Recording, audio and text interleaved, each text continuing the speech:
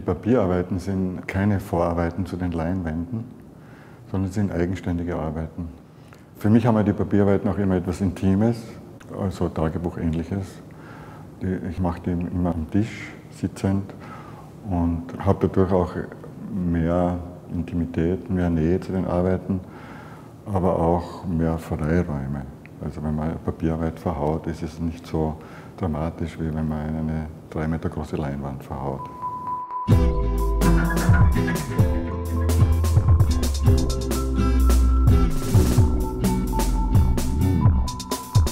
Für mich war es schon entscheidend, ähm, einen genaueren Blick zu werfen auf das Thema der Malerei generell. Was kann Malerei? Muss sie abbildhaft sein? Kann sie noch mehr? Kann sie was anderes auch? Dadurch bin ich in die Abstraktion hinein fast notgedrungen. Also es ist fast für mich eine Notwendigkeit gewesen, das zu machen. Selbst bei einem fast monochromen weißen Bild kann ich sagen, okay, das ist eine Schneelandschaft zum Beispiel. Also diese Assoziationskette ist fast nicht zu durchbrechen.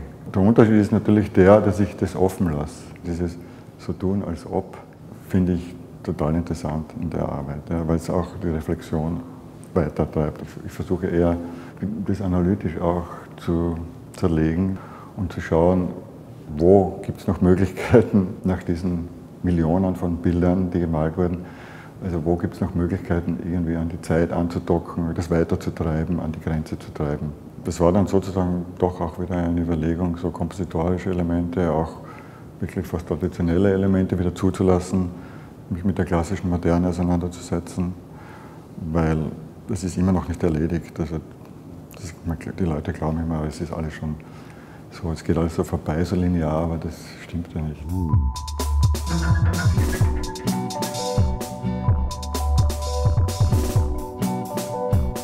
Ich überlege mir das Material. Ich arbeite mit der Flüssigkeitskonsistenz der Farbe zum Beispiel. Also das ist zum Beispiel das, was, was den Zufall ähm, auch bewusst mit einschließt. So kann ich einfach in den Dialog treten mit, mit, dem, Bildträger, mit dem Medium, mit dem Bildträger. Es ist einfach ein, ein Aufbauen und ein Zurücknehmen, also ein, Schicht, ein Schichten und wieder reduzieren. Und es muss halt formal stimmen, die Komposition muss stimmen, die Gewichtung muss stimmen. Das sind halt jetzt auch Entscheidungen, die natürlich jetzt nur ich treffen kann. Es gibt auch eine emotionale Komponente. Diese direkte Übertragung zum Beispiel, also ohne Maschine dazwischen, ohne Apparat dazwischen, ist etwas, was mich auch interessiert. Diese Körperlichkeit fast, also die, die bei anderen Medien nicht so vorhanden ist.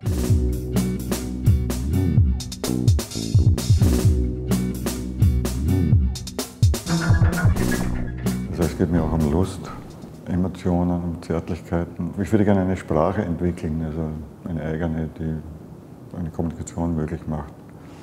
Wir das so sehen wie ein Musikstück. Es gibt eben sowas wie Rhythmus oder Schwere oder Heiterkeit, Sentimentalitäten. Also es ist für mich schon eine Möglichkeit, mich auszudrücken, mit der Gesellschaft in Kontakt zu treten.